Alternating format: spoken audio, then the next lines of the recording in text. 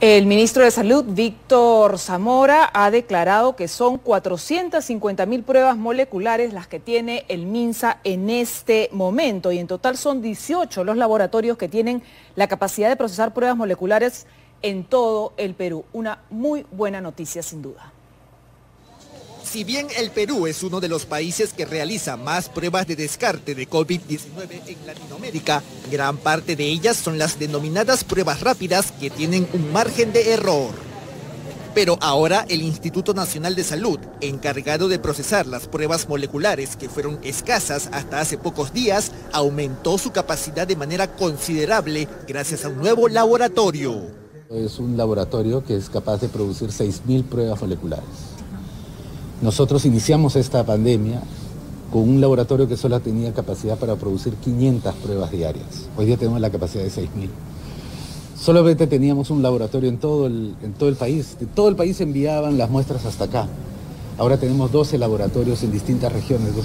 El ministro de Salud, Víctor Zamora, supervisó las nuevas instalaciones para procesar las pruebas moleculares y señaló que apuntan a que éstas equiparen la cantidad de procesamientos de pruebas rápidas a pesar de que hemos comprado, siempre los volúmenes eran pocos. Aunque hemos seguido haciendo pruebas moleculares, hoy día ya tenemos la capacidad para hacer, tenemos una dotación de 250 mil pruebas moleculares hoy y dentro de poco vamos a tener 450 mil pruebas moleculares que se van a poner a disposición de todo el país. Sin embargo, el ministro fue claro al indicar que al menos por ahora las pruebas moleculares serán destinadas a un segmento específico de la población especialmente a la población vulnerable, personas mayores de 60 años que tienen alguna enfermedad de fondo, vamos a enfocar eh, nuestras pruebas moleculares en aquellas poblaciones.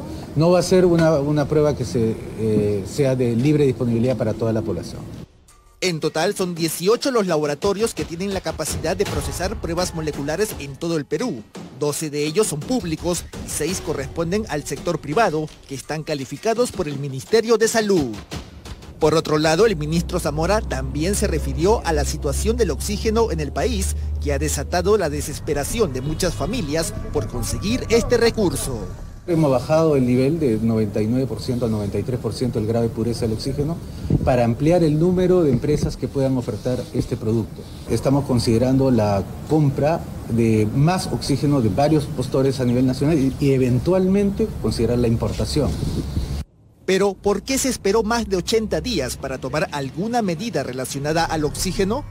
Nosotros no teníamos esa base de datos antes de empezar la epidemia, la hemos ido construyendo a medida que, iban progresando los casos. Es ahí cuando nos hemos enfrentado con una severa crisis de oxígeno y hemos tenido que levantar toda esa información para saber qué comprar, en dónde y cuándo. Por último, Zamora indicó que si bien no hay pruebas de que el virus se haya debilitado, se viene registrando un descenso lento de casos positivos de COVID-19 en todo el país.